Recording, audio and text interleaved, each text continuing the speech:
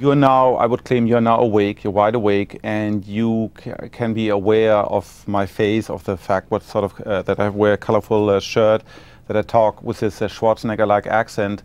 And uh, so this I would have, this I would call an operationalized definition of consciousness. Christof, why have you and Francis Crick, who I guess is best known for discovering the structure of DNA, chosen visual awareness to study consciousness?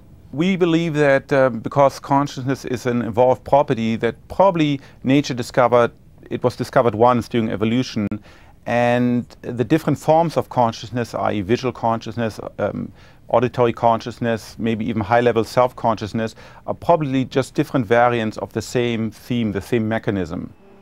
So they've designed experiments to test visual consciousness.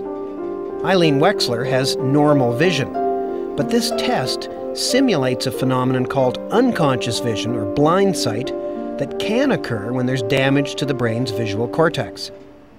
So the world to them looks like this. They're blind on the, in the left side of the visual field.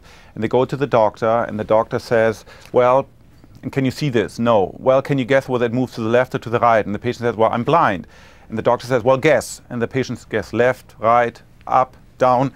And the patient is as surprised as the doctor, at least they were at first.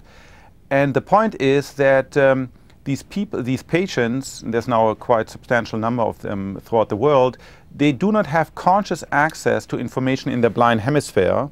Yet, if forced to respond, they can, they, it turns out that something in their brain has information because they can correctly guess, for example, the direction of motion.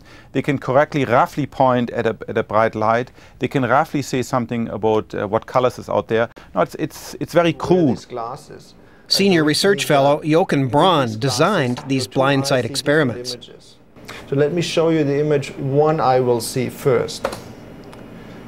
Okay, that's what it looks like. You have a, a background of squiggles all aligned. Yes. And there's this little area where the Where they're squiggles different. They, they point at a right angle.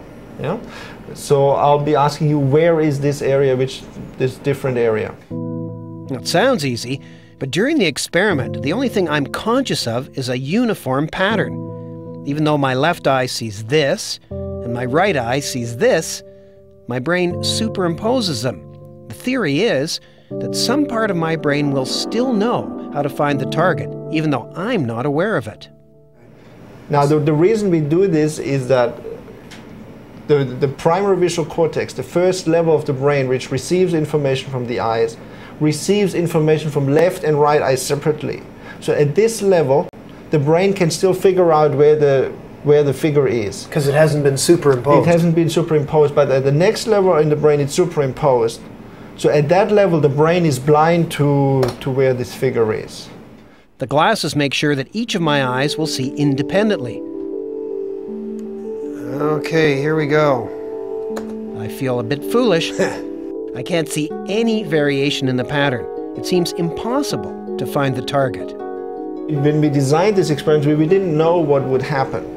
Uh, and then the student who did the experiment came back and said, This is very strange. I'm, I'm rather good at finding the square, but I don't see it. so, so then it dawned upon us that this information, which does make it to the brain, at least at the first level, you can still use it, but you're not aware of it. The results haven't been consistent, but Aaron Rosen is one of the students who can sometimes locate the target 70% of the time, even though he's not conscious of it. the theory, uh, which has been advanced uh, by others, not, on, not only by us, um, is that there are actually two visual systems one ventral and one dorsal visual system with different functions. Uh, so, the function of the ventral visual system would be to uh, recognize things, um, to read, to, to see faces, to acquire visual memories, and so forth. And, and that visual system the theory goes, contributes to your conscious experience. The other visual system, the dorsal one, has a different function, uh, namely to guide your movements, your eye movements, and also your hand movements, or just locomotion if you're walking around. Or say know? reaching for a cup of coffee. ex- exactly. or a glass of beer. Here's another way of looking at the two kinds of vision, conscious and unconscious. No matter how you view this glass of beer, you know it's a glass of beer. Over to the side. But to pick it up and move it around, a separate visual system kicks in. In some sense, we, we have within us a, a kind of robot that allows us to interact with the world that is controlled to some degree by our conscious visual experience. So our conscious visual experience marks this as a goal object, and then we, then we bring to bear a robot uh, that allows us to reach out and pick this up. Different computational demands. So, so, in a sense, that's unconscious vision. It's unconscious vision, and it's and it can, in some real sense, never be conscious. It's quite inaccessible to conscious report.